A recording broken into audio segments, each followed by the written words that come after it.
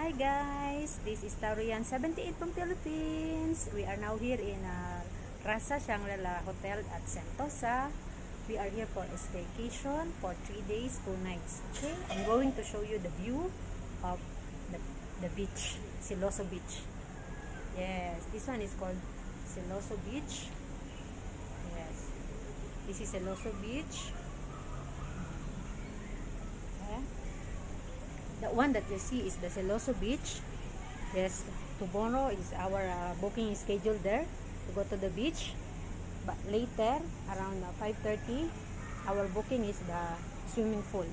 We go for, we're going for swimming later, 5.30. Because now, because of the COVID, everything you must book. Even you stay in the hotel, you cannot anyhow go to the pool, you cannot anyhow go to the beach also. Even you're a guest, you still need to book. Everything must book first because of the COVID pandemic. So they uh, minimize the first the people who use the facilities. See, we are on the ninth floor. Okay, now I'm here in the balcony. This is the balcony. On the room, that balcony. Okay, I'm going to show you our uh, room. Okay, this is our room. This one is an extra bed. Okay. This one is my bed. That one is my girl bed. She's sleeping. So, I'm going to show you. Okay, we got two chairs here to sit.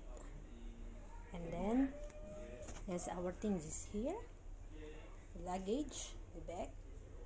Okay, this is the view of the room. I'll show you for a while. The one is sleeping is Rachel, my girl. Okay, now I'm going to show you the toilet. Okay, toilet is here. Okay, the toilet. This is the toilet. Okay, this is the toilet bowl. Then the lavatory.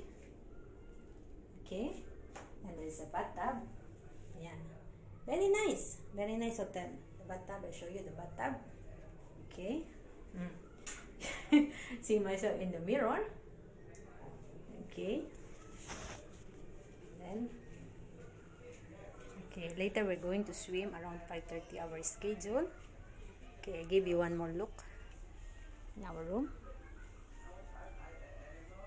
Okay. Bye bye for now. This is Taurian from Philippines again. Thank you for watching